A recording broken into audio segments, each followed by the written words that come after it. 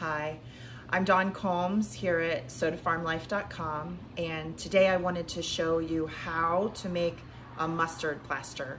It's something that I have written about in my book Heal Local and, uh, and why you would use it. And I most recently wrote about it on the blog at sodafarmlife.com. I have a couple different ways to do this. One is uh, because people get really overwhelmed when they first start taking care of themselves in this natural way and they worry about having all the parts and pieces.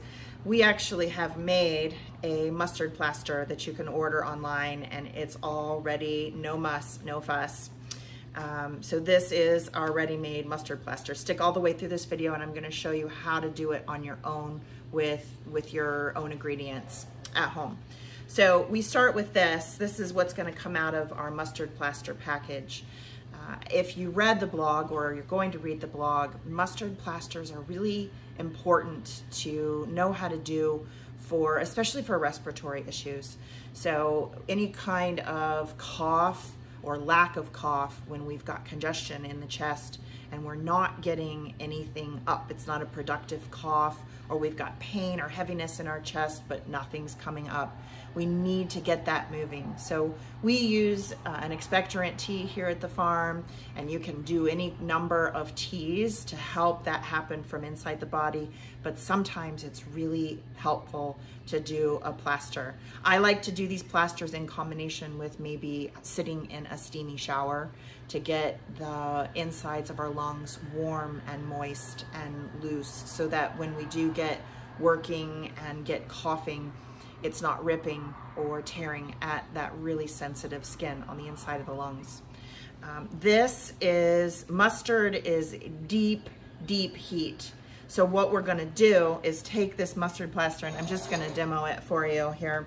Um, put it in a bowl and pour hot water over this until it gets, until it gets moist. We're gonna let that get all plastered up and it's gonna make sort of a tea out of the water. That's okay. Our mustard plaster is inside there.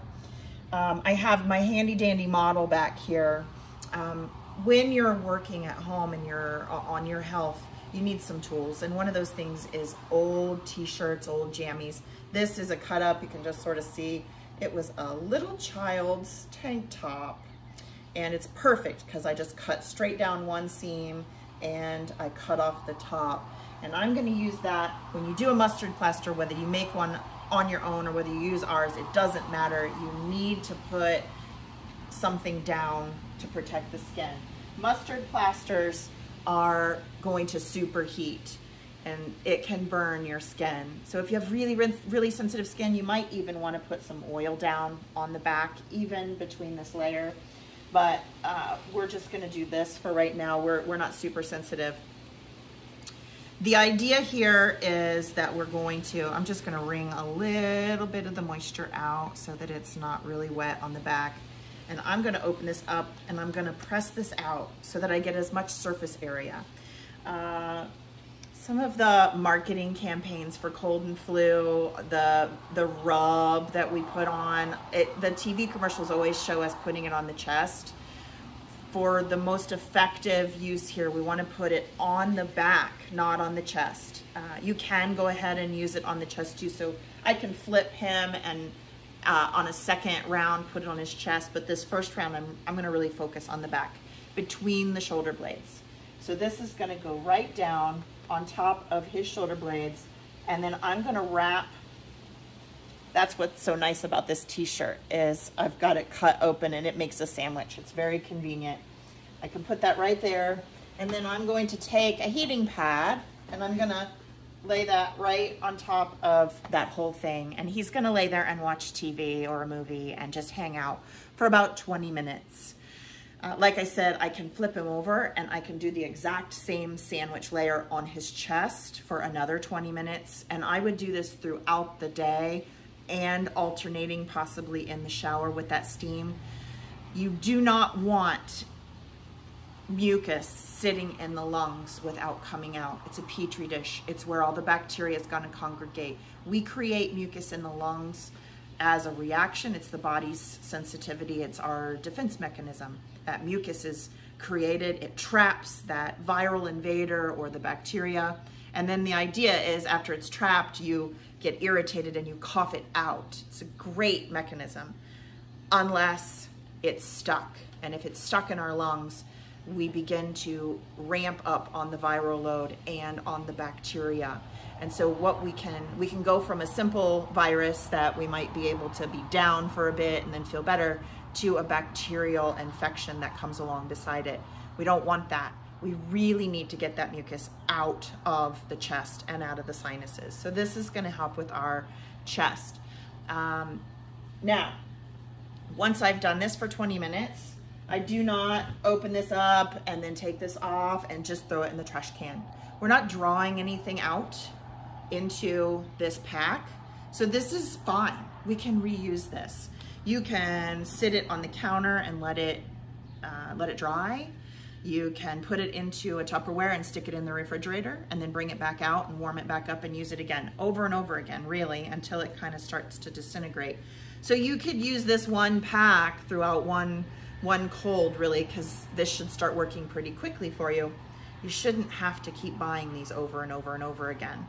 Um, the benefit here to what we're making is it's all self-contained and when you are done, you can throw it all away and the mess and everything is contained, which is attractive to some people. Um, but what if you use it only once or twice on someone and you dry it out and you want to keep it? What else could you use it for?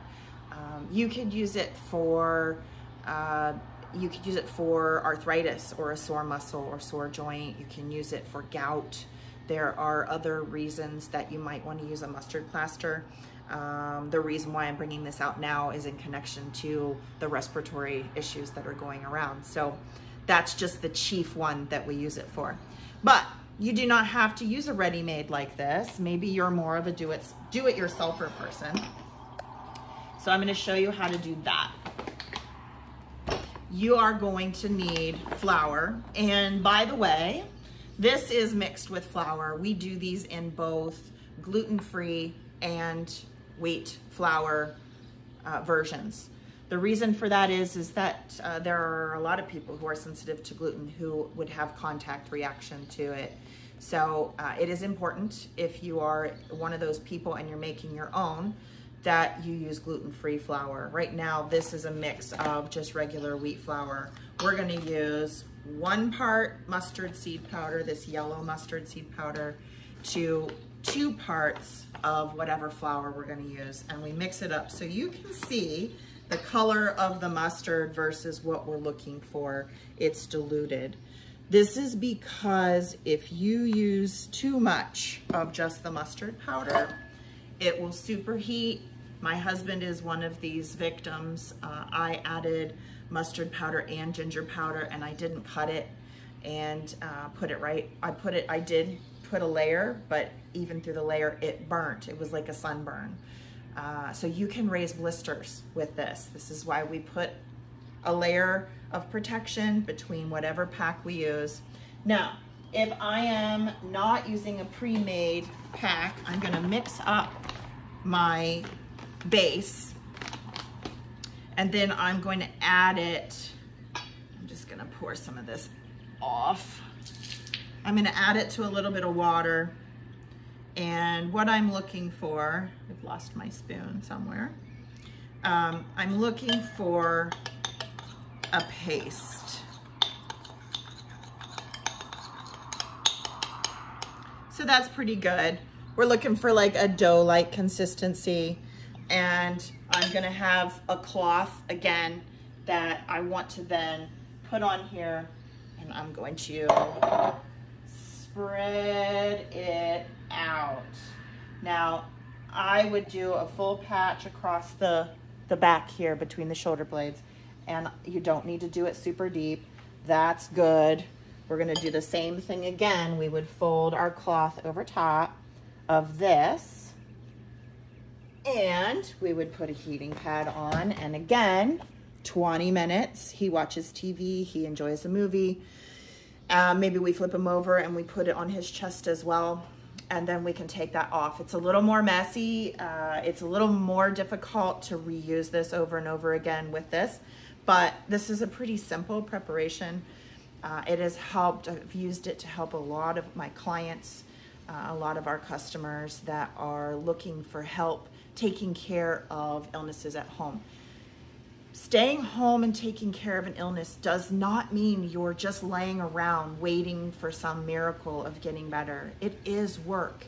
It requires you to take action. You cannot just lay down and hope for the best because with a respiratory issue, it doesn't get better, it gets worse. You just progressively get worse. Gets harder for you to get oxygen. It hurts more. It gets harder for you to get things up and out of the chest and we need oxygen. It's kind of important.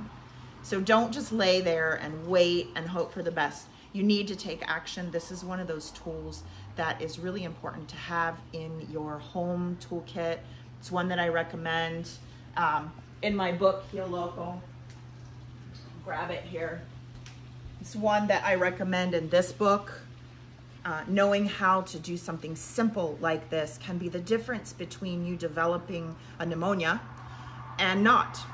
Um, I talk about the different colors of phlegm in that blog post. So for more ideas on how to continue to take care of yourself while you're you're in triage when you're taking care of yourself. You're always within your own bounds, what you're capable of doing. And when it goes outside of your bounds, when the phlegm that you cough up is green and red and bloody, we are done at home. It's time to go to the hospital. So knowing where your limits are, which I talk a lot about in Heal Local, um, the, having these tools in your tool chest to be able to take care of simple things to head off the eventuality of going to the emergency room is, it's a lifesaver.